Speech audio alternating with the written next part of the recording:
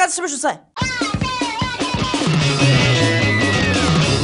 In the past, I've talked a lot about the differences between English and Spanish, but today I want to talk about the times where they like.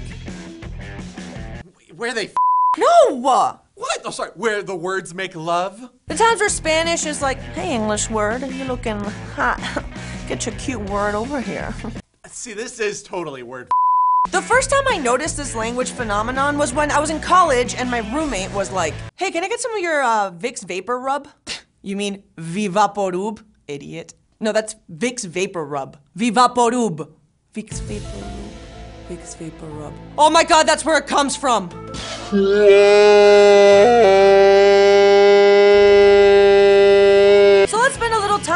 About English words Spanish just sort of stole and then pretended nothing happened. The proper word for security guard in Spanish is guardia, but I always knew it as watchman.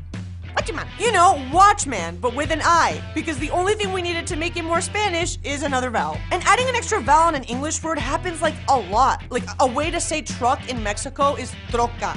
That is stereotyping a lot, Joanna. It's fact, dude. no, I think you're being a little ignorant. Now gather round, everybody, because I'm about to teach you a very special trick. If you want to convert an English verb into a Spanish verb, all you have to do is add an ear at the end.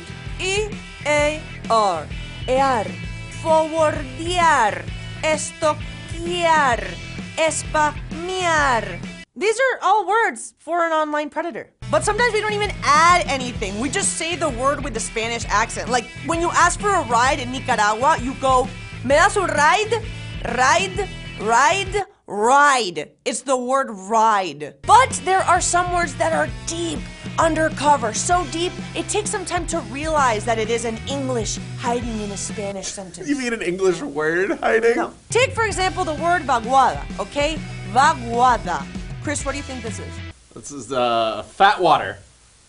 Vaguada. Actually, that's not that far. So it's actually bad weather. Just in my head, I don't know how bad weather evolved into vaguada. The first time I heard vaguada was in Puerto Rico. And what I love about Puerto Rico is that they don't just Spanishize an English word, they full on Puerto Rico it. Because being a US territory gives PR the right to just English apart. Parking is parking, vacuum cleaner is vacuum cleanel, hamburger is hamburger. Sometimes it isn't even the English word we adopt, it is the brand that makes the thing becomes the name of the thing is the thing. I lost track of the thing. Like conflei, all right? This isn't just cornflakes. This is all cereals. Goma de mascar will never be the word for gum, okay? It will forever be chicle, which comes from chiclet. Jeep may be just a car brand, but in some countries, Jeep is the word for SUV.